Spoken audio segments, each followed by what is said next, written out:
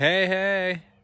So I'm out here walking through the old woods and when I was in high school, my buddies and I used to get a couple beers and go out camping and get a good bonfire going and we had some real good times and I just found our old location and uh, right here it is. And some of the old sticks and stuff, maybe they're still from that old time, you know, and that's life for you. Comes and goes pretty quick. Man, I've been over 20 years and uh, way over. And, uh, you know, it's like sitting here reminiscing. A little spot there. A little spot in the country out here. And I, I used to throw parties and we'd call them the Swine Fest. And people from all over would come to my parties because, you know, you know, I throw a good party. Always have, always will. But man, you talk about nostalgia.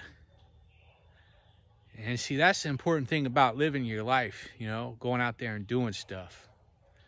The memories that you're going to have that you did. I don't remember the conversations exactly at this point that my buddies and I had back then, but we sure were figuring out life. Or at least we thought we were. in his woods gets more beautiful by the day.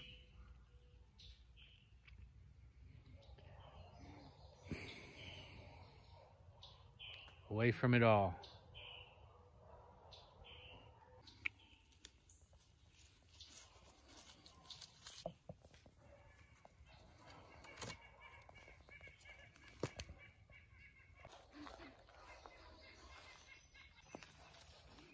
I guess at some point in my life I got distracted, went off course. Forgot what was important in life, see? Oh, the big city with the fast moving cars and the horn honking. All pretty much pointless.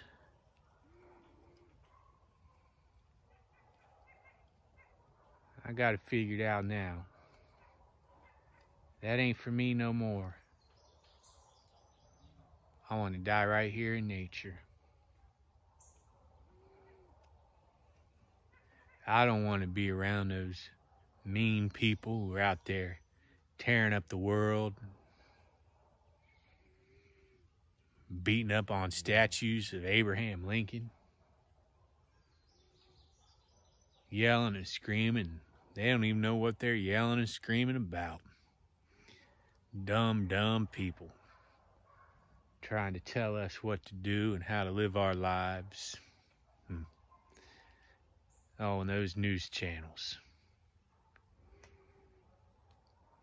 You watch the news, you think the whole world's ending. You think it's all gonna coming to a brutal, brutal end. And then you step outside, and what do you hear? A bird chirping.